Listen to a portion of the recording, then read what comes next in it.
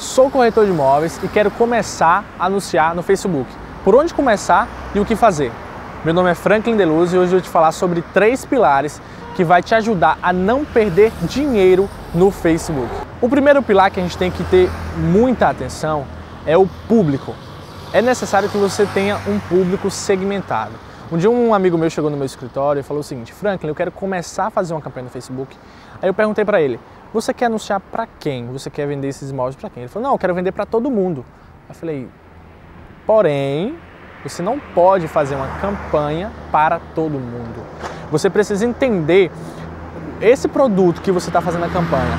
Ele é um produto que quem são as pessoas que têm interesse? Qual o público segmentado? São médicos, são advogados, são pessoas com renda a partir de 2 mil? Então, o mais importante que você vai precisar é o seguinte: é região, de idade e interesses. Isso é importante porque quando você vai montar uma campanha no Facebook, você pode acabar mostrando o teu material para as pessoas que não querem consumir aquilo. Então, quanto mais é, segmentado e mais específico você for, mais retorno em conversões você vai ter. Há pouco você vai entender um pouquinho o que é conversões. Segundo pilar, é importante que você tenha é, uma forma de capturar todas essas informações. Quais informações que você precisa? Primeiro, contatos, nome, telefone, e-mail, informações para simulação, é, renda, data de nascimento e entre outras. Você vai montar um formulário ou uma página de captura e em todo o seu pôster você tem que levar o teu cliente para esse formulário. Tá? Você vai mostrar um conteúdo, porém você vai levar ele para uma página de captura. Por que isso é importante? É, é importante a gente entender que a gente tem um custo por clique e um custo por venda. Então, é importante que você tenha esses três pilares, porque, primeiro, público, você precisa segmentar seu público para que você não anuncie para uma pessoa que você que é a pessoa que não queira isso. Segundo, uma página de captura para você captar as informações. A pessoa não pode só ver e, e olhar e gostar daquilo e curtir. Ela precisa, você precisa captar as informações dela. E o terceiro pilar é o produto que vai te ancorar para que você não perca dinheiro. Como isso, Franklin? Vamos dizer que você tem um produto que você tem um valor de comissionamento de 3 mil reais.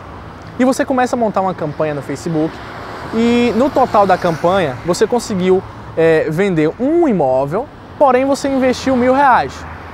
Mas se você observar, a cada mil reais investido você está ganhando 3 mil. Então você ainda está em um nível que você está tendo lucro. Então é importante que você tenha essa noção. Por quê? É uma pergunta que sempre existe.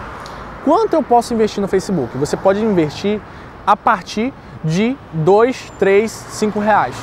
Então assim, diariamente você faz uma campanha e você bota 5 reais por dia, 10 reais por dia.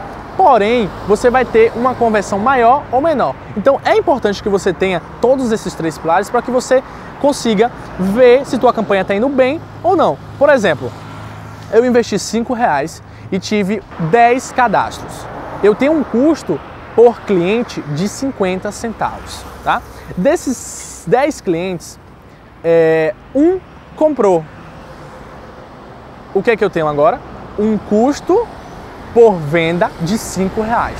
Tá? Isso é um exemplo, mas você tem que ter essa noção. Por quê? Vamos dizer que você está investindo no Facebook, não está vendo resultado e fala, Franklin, eu não estou gostando do Facebook porque eu estou investindo e não estou tendo resultado. O que é que eu faço? Você tem que analisar se realmente você já ultrapassou o teto onde você está investindo mais do que ganhando. Ou seja, se você ganha 3 mil e investe 2 mil, você ainda está numa média boa. Se você ainda entrar em paralelo, você ainda está numa média boa porque você está investindo na tua página, você está criando uma audiência. Então é importante esses três pilares porque, primeiro, público, para que você tenha essa segmentação, é, página de captura para que você tenha uma conversão de clientes e produto para que você bata com seu investimento. Se você chegou até aqui, eu quero te convidar para participar de um super treinamento que eu estou montando, eu estou finalizando, a gente já está na parte de edição, de como montar um conteúdo para teu público, para que você consiga se relacionar com ele. No link abaixo, você vai precisar se cadastrar e automaticamente você vai receber esse material